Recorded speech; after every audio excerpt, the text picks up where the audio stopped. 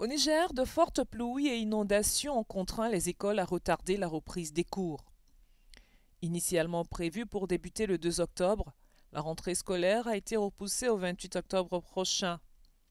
Peu d'établissements d'enseignement ont été épargnés et ceux qui sont restés debout sont utilisés pour héberger les personnes forcées de quitter leur maison à cause du déluge.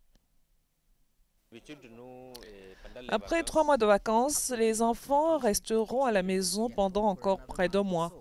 Nous n'avons pas l'habitude de laisser les enfants désœuvrer pendant les vacances. Nous les amenons dans des écoles coraniques. C'est ce que nous allons faire maintenant.